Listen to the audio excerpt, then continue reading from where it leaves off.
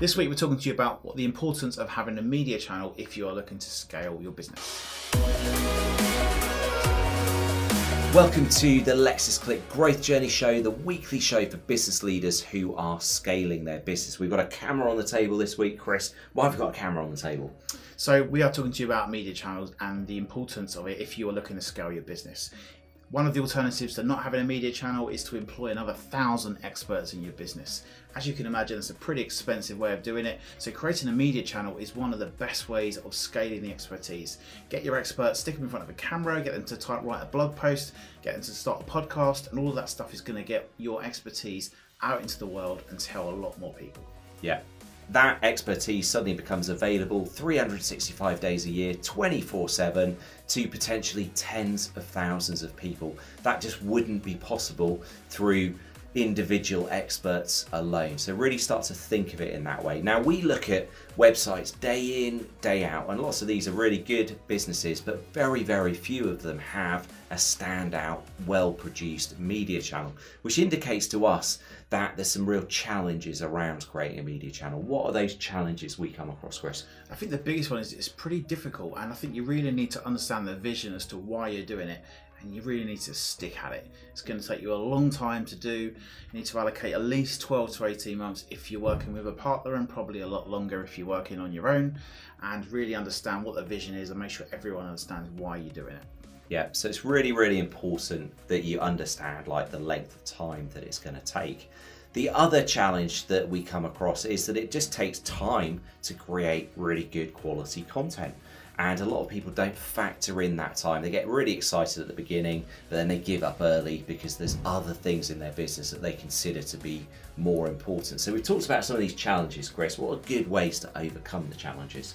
So you really need to understand what the vision is and to why you're creating the media channel in the first place. If you think about the great media channels, they're not creating the adverts that go in between the content, they're creating the actual content. So a lot of businesses will start off creating content about their products and nobody wants to watch the adverts, they want to watch the actual content. So you really need to understand what it is you're creating, why you're creating it, and make sure you create the right type of content that really draws people into your expertise. Yeah, and how do people overcome the fact that it's going to take time to hit this tipping point when their media channel really starts to work for them?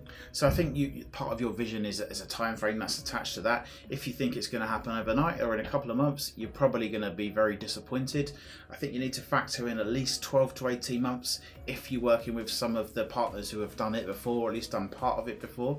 I think a lot longer if you're trying to do it by yourself and you haven't done this kind of thing before. Yeah, so our recommendation is work with a partner who's done this before. It's going to get you there a lot faster. There's a lot of ancillary things that people don't factor in. They think, oh, making a video, that's pretty straightforward. You've got to then produce a video, you've got to then promote the video. So working with a partner will get you there faster and it will reduce your opportunity cost. So the third thing you might want to try and overcome is the amount of time it takes to actually do it. It's quite a time consuming process to create content. So what we recommend is that you create systems and processes around creating the content. So you know every Monday morning you're going to come in like us at 10 o'clock and you're going to make a video for that week's vlog. So every day you're going to come in and do a, a, weekly, a daily video about the thing that you're going to do every day. So if you have a, a, time set aside for it and a system and process around each of these bits of content, you're much more likely to make it consistent and much more likely to make it happen each and every week without ever stopping. Yeah, and another way to overcome these challenges is also to look at how you can create content right the way through the customer journey with your business. Great example of this is FAQ content. So you can record a video and create some written content for a frequently asked question. Now the chances are that's going to save customer support time because you're getting asked that question quite a few times and you can send a video link to a customer to explain that. But also when a potential customer is looking to solve that problem, it's highly likely they'll search on Google or YouTube, they'll come across your video when they haven't even heard about your business before. Suddenly they've heard about your business and they've started a relationship with you. So it's really valuable as well at the beginning stages of this funnel. Now we talk about all these things, don't we, Chris, in our scalability score. So do you want to do a little promo for that? yes, so media channel is one of the things that we will ask you about if you go onto our scalability score calculator. Check the link on the screen. It's lexisclick.com forward slash scalability score. And we're going to ask you a bunch of different questions and it will help you identify the things that might be holding your business back from being able to scale.